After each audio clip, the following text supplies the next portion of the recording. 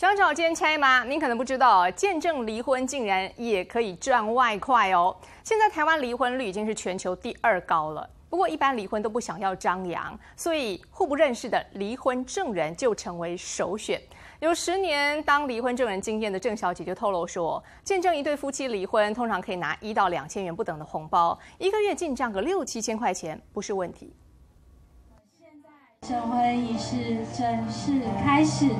结婚是许多人终身大事，但有人结婚就会有人离婚。根据统计，台湾的离婚率两千零六年来到历史最高千分之二点六，近来虽然逐步下滑，但二零一五年却又从千分之二点二八慢慢成长到二点三，竟然就有人靠着见证离婚来赚外快。说如果是要离婚的话，就是说要有两个满二十岁的成年人，要有行为能力。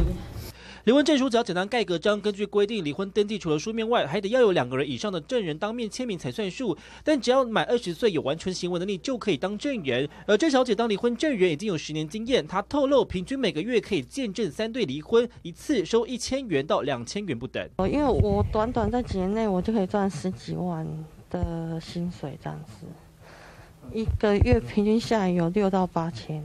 啊，帮人家见证离婚不是一件好事情哦。有的会认为说还甚至会损阴德，所以多半做这个离婚证人不是一个一般人愿意做的事情。那通常是会包一些红包。相比结婚喜气，离婚时大家都想低调，因此不想找熟人作证。这时，不认识的第三方证人成为了最佳首选。不过，当离婚证人也没有那么容易，除了得常自己上网找 case，有时候还会亲眼见证八点档。像男女生不是很，好像很不愿意离婚，就。就等于说他们口气就不好，然后甚至女方还带他妈妈来。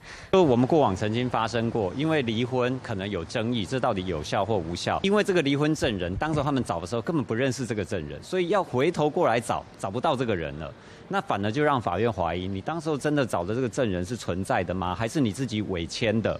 见证离婚美角可不少，万一一方反悔，还得出庭作证，甚至看多了离婚，对婚姻没有信心。想赚离婚证人才，还得要有坚强的心理素质。民事新闻，刘永金、郭南红台报道。